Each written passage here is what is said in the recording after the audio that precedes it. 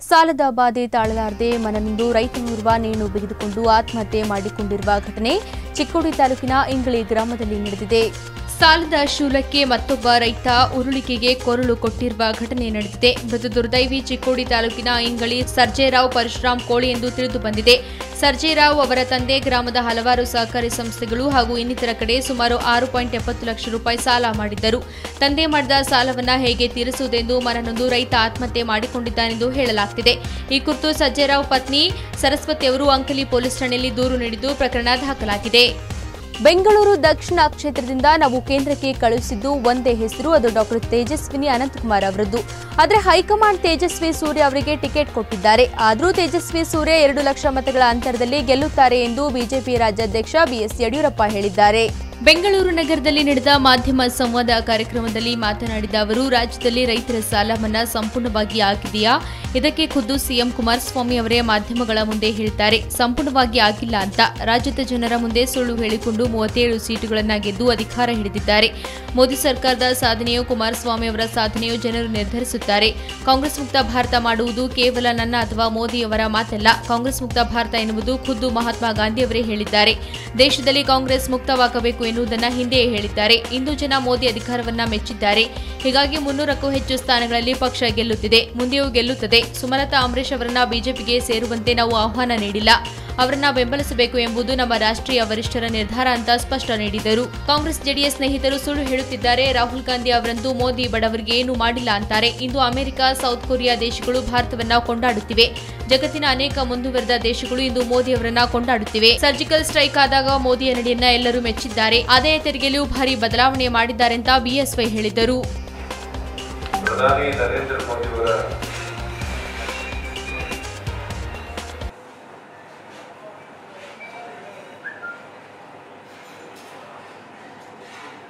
ಮೆಚ್ಚುಗೆ ಜಾಸ್ತಿ ಆಗುತ್ತೆ. ನನ್ನ ಪ್ರಕಾರ ಎರಡು ಸಾವಿರದ ಹದಿನಾಲ್ಕು ಹೋಲಿಸಿದ್ರೆ ಹದಿನಾಲ್ಕು ಹದಿನೈದು ಪರ್ಸೆಂಟ್ ಹೆಚ್ಚುವರಿ ಓಟನ್ನ ನಾನು ಈ ಬಾರಿ ಪಡಿತೇವೆ. ದೇಶದಲ್ಲಿ ನೂರಕ್ಕೆ ನೂರು ಮುನ್ನೂರು ಲೋಕಸಭಾ ಕ್ಷೇತ್ರ ಗೆಲ್ತೇವೆ ಕರ್ನಾಟಕದಲ್ಲಿ ಕನಿಷ್ಠ ಇಪ್ಪತ್ತೆರಡು ಲೋಕಸಭಾ ಕ್ಷೇತ್ರ ಗೆಲ್ತೇವೆ ಅನ್ನುವಂತ ಸಂಪೂರ್ಣ ವಿಶ್ವಾಸ ನನಗಿದೆ. ಜೆಡಿಎಸ್ ಮತ್ತು ಕಾಂಗ್ರೆಸ್ನ ಸ್ನೇಹಿತರು ಸುಳ್ಳಿನ ಅನೇಕ ಕಥೆಗಳನ್ನ ಜನರ ಮುಂದೆ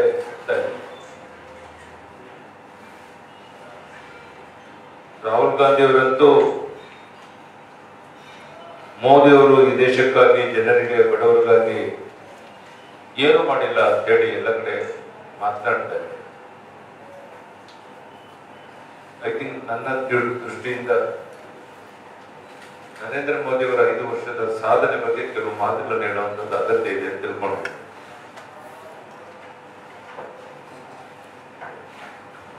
ಈ ದೇಶ ಲೋಕಸಭಾ ಸ್ಪೀಕರ್ ಮತ್ತು ಇಂದೌರ ಬಿಜೆಪಿ ಸಂಸದೆ ಸುಮಿತ್ರಾ ಮಹಾಜನ್ ಅವರು ಎರಡ್ ಸಾವಿರದ ಹತ್ತೊಂಬತ್ತರ ಸಾರ್ವತ್ರಿಕ ಚುನಾವಣೆಯಲ್ಲಿ ಸ್ಪರ್ಧಿಸುವುದಿಲ್ಲ ಎಂದು ದೃಢಪಡಿಸಿದ್ದಾರೆ. ಸುಮಿತ್ರಾ ಮಹಾಜನ್ ಅವರಿಗೆ ಎಪ್ಪತ್ತಾರು ವರ್ಷ ಪೂರ್ಣಗೊಳ್ಳುತ್ತಿರುವ ಹಿನ್ನೆಲೆಯಲ್ಲಿ ಲೋಕಸಭಾ ಚುನಾವಣೆಯಲ್ಲಿ ಸ್ಪರ್ಧಿಸುವವರೇ ಎಂಬುದರ ಬಗ್ಗೆ ಕುತೂಹಲ ವ್ಯಕ್ತವಾಗಿತ್ತು. ಇಂದೋರ್ನಿಂದ ಸಾವಿರದ ಒಂಬೈನೂರ ಎಂಬತ್ತೊಂಬತ್ತರಿಂದ ಸತತವಾಗಿ ಎಂಟು ಬಾರಿ ಸಂಸದರಾಗಿ ಆಯ್ಕೆಯಾಗಿರುವ ಸುಮಿತ್ರಾ ಮಹಾಜನ್ ಈ ಬಾರಿ ಚುನಾವಣೆಯಲ್ಲಿ ಸ್ಪರ್ಧಿಸುವುದಿಲ್ಲ ಎಂದಿದ್ದಾರೆ. ಇಳಿ ವಯಸ್ಸಿನಿಂದಾಗಿ ಪಕ್ಷದ ಹಿರಿಯ ನಾಯಕರಾದ ಎಲ್ ಕೆ ಅಡ್ವಾಣಿ ಹಾಗೂ ಮುರಳಿ ಮನೋಹರ್ ಜೋಶಿ ಅವರು ಹಿಂದೆ ಸರಿದ ಕಾರಣದಿಂದಾಗಿ ಬಿಜೆಪಿಯು ಚುನಾವಣೆಯಲ್ಲಿ ಸ್ಪರ್ಧಿಸಲು ಅಭ್ಯರ್ಥಿಗಳಿಗೆ ವಯೋಮಿತಿ ನಿಗದಿಪಡಿಸಲು ನಿರ್ಧರಿಸಿದೆ.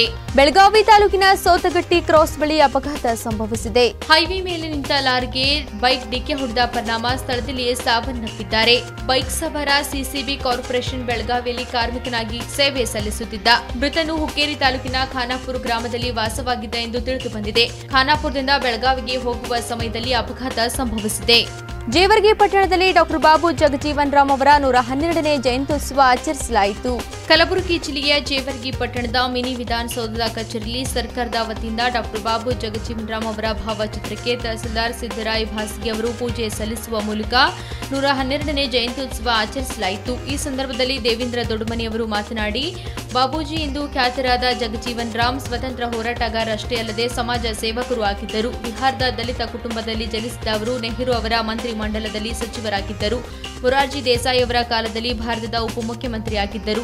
ಜಗಜೀವನ್ ರಾಮ್ ಅವರ ಅಸ್ಪೃಶ್ಯತಾ ನಿರ್ವಹಣೆಯು ಹೋರಾಟದ ಮಹಾನ್ ದಲಿತ ನಾಯಕರಾಗಿದ್ದರು ಹಾಗೂ ದೇಶದಲ್ಲಿ ಆಹಾರದ ಕೊರತೆ ಉಂಟಾದ ಸಮಯದಲ್ಲಿ ಕೃಷಿ ಸಚಿವರಾಗಿದ್ದ ಬಾಬು ಜಗಜೀವನ್ ರಾಮ್ ಅವರು ಜಾರಿಗೆ ತಂದ ಯೋಜನೆಗಳು ಹಸಿರು ಕ್ರಾಂತಿಗೆ ಕಾರಣವಾದವು ಎಂದು ಮಾತನಾಡಿದರು. ಈ ಸಂದರ್ಭದಲ್ಲಿ ಸೋಮರಾಯ್ ಡೊಳ್ಳಿ, ಬಾಲೇಶಿ ನಾಶ್ಮನ್ ಮಾನಪ್ಪ ಗೋಗಿ, ಭೀಮರಾಯ್ ದೊಡ್ಮನಿ, ಮರಿಯಪ್ಪ ದೊಡ್ಮನಿ, ಮಲ್ಲಿಕಾರ್ಜುನ್ ದಿನ್ನಿ, ಹನುಮಂತ್ ಶಾಬಾದ್ಕಾರ್, ಈಶ್ವರ್ ಹಿಪ್ಪರ್ಗಿ, ಭೀಮರಾಯ್ ಹಳ್ಳಿ, ಭೀಮು ಹದಿಮನಿ, ಸುಭಾಷ್ ಕಾಂಚಿ, ಮಾದಿಗ ಸಮಾಜದ ಇನ್ನು ಅನೇಕ ಮುಖಂಡರು ಹಾಗೂ ಸಿಬ್ಬಂದಿ ವರ್ಗದವರು ಉಪಸ್ಥಿತರಿದ್ದರು.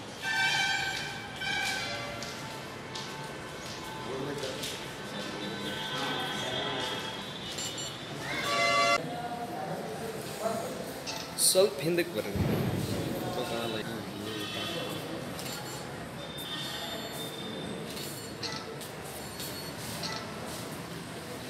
ಕಲಬುರಗಿ ಜಿಲ್ಲೆಯ ಚಿಂಚೋಳಿ ತಾಲೂಕಿನ ಸುಲೆಪೇಟ್ ಗ್ರಾಮದಲ್ಲಿ ಕುಡಿಯುವ ನೀರಿನ ಸಮಸ್ಯೆ ಬಾರದಂತೆ ಸಕಲ ಸಿದ್ಧತೆ ಮಾಡಿಕೊಳ್ಳಲಾಗಿದೆ ಎಂದು ಗ್ರಾಮ ಪಂಚಾಯತ್ನ ಅಭಿವೃದ್ಧಿ ಅಧಿಕಾರಿ ಭಂಡೆಪ್ಪ ಧನ್ನಿ ಹೇಳಿದರು. ಈ ವರ್ಷದಲ್ಲಿ ಕಡಿಮೆ ಮಳೆ ಆಗಿದೆ, ಆದ್ದರಿಂದ ಅಂತರ್ಜಲ ಕುಸಿದಿದೆ. ನಾನಾ ಕಡೆ ನೀರಿನ ಸಮಸ್ಯೆ ಆಗದಂತೆ ನೋಡಿಕೊಳ್ಳಲಾಗ್ತಿದೆ. ಪೊಲೀಸ್ ಸ್ಟೇಷನ್ ಹತ್ತಿರ ಇರುವ ಬಾವಿಯಲ್ಲಿ ನೀರಿನ ಪ್ರಮಾಣ ಕಡಿಮೆಯಾಗಿದೆ ಆದ್ದರಿಂದ ರಾಮತೀರ್ಥ ರಸ್ತೆಯಲ್ಲಿ ಇರುವ ಕೊಳವೆ ಬಾವಿಯಿಂದ ಪೈಪ್ಲೈನ್ ಮಾಡಿ ಬಾವಿಯಲ್ಲಿ ನೀರು ಹಾಕಿ ಮತ್ತು ಬಾವಿಯಿಂದ ಟ್ಯಾಂಕ್ ನೀರು ಏರಿಸಿ ನೀರನ್ನ ಬಿಡುವ ವ್ಯವಸ್ಥೆ ಮಾಡಲಾಗಿದೆ. ಈ ವರ್ಷ ಕಡಿಮೆ ಮಳೆ ಆಗಿದ್ದರಿಂದ ಎಲ್ಲ ಬೋರ್ವೆಲ್ ನೀರು ಬತ್ತಿ ಹೋಗಿವೆ. ಜನರು ತಮಗೆ ಬಳಕೆ ಆದಷ್ಟು ನೀರು ಬಳಕೆ ಮಾಡಬೇಕು ಎಂದು ಜನರಲ್ಲಿ ಮನವಿ ಮಾಡಿಕೊಂಡಿದ್ದಾರೆ. ಈ ಸಂದರ್ಭದಲ್ಲಿ ಗ್ರಾಮ ಪಂಚಾಯತ್ ಅಧ್ಯಕ್ಷ ಸುನಿಲ್ ಕುಮಾರ್ ಕೋರಿ, ಅಮೃತ್ ದಸ್ತಾಪುರ್ ರವಿ ಅಲ್ಲಾಪುರ್ ಇತರರು ಇದ್ದರು. ಸುಲೆಪೇಟ್ ಗ್ರಾಮ ಪಂಚಾಯತ್ ವ್ಯಾಪ್ತಿಯಲ್ಲಿ ಈಗಾಗಲೇ ಬರಗಾಲ ಇದ್ದಿದ್ದು, ಅದರ ಸಲುವಾಗಿ ಏನದ ಕುಡಿಯೋ ನೀರಿನ ತೊಂದರೆ ಆಗ್ತದೆ ಇದೆ ತೊಂದರೆ ಆಗ್ತಾ ಇದೆ. ಅದರ ಸಲುವಾಗಿ ನಾವು ಈಗಾಗಲೇ ಒಂದು ರಾಮತೀರ್ಥ ರೋಡಿಗೆ ಒಂದು ಪೈಪ್ಲೈನ್ ಮಾಡಿ ಒಂದು ಈ ಬಾವಿಗೆ ನೀರು ಡಂಪ್ ಮಾಡತ್ತ. ಅದು ಕಡಿಮೆ ಇತ್ತಂತಂದ್ರೆ ಇಲ್ಲಿ ಪ್ರೈವೇಟಾಗಿ ಅದು ಕೂಡ ನಮಗೆ ತಗೊಳಕ್ಕೆ ಅನುಕೂಲ ಮಾಡಿಕೊಡ್ಬೇಕಾಗ್ಯದ. ಅದು ಪೈಪ್, ಪೈಪ್ಲೈನ್ ತೊಗೊಂಡು ಒಂದು ಹತ್ತು ಎಚ್ ಪಿದು ಮೋಟ್ರ್ ಅಳವಡಿಸ್ಕಿಸಂದ್ರೆ ಬಾಯಾಗ ಏನದ ಡಂಪ್ ಮಾಡಿ ನಮ್ಮ ಎಲ್ಲ ಗ್ರಾಮದ ಜನರಿಗೆ ಕುಡಿಯೋ ನೀರಿನ ವ್ಯವಸ್ಥೆ ಮಾಡೋದು ಪ್ರಯತ್ನ ಮಾಡ್ತಾ ಇದ್ದೆವು. ಏನು ಈ ಒಂದು ಅಂತರ್ಜಲ ಕುಸಿದಿರುವುದರ ಕಾರಣಕ್ಕಾಗಿ ಸ್ವಲ್ಪ ಏನದ ನೀರಿಂದು ತೊಂದರೆ ಆಗ್ತಾಯಿದೆ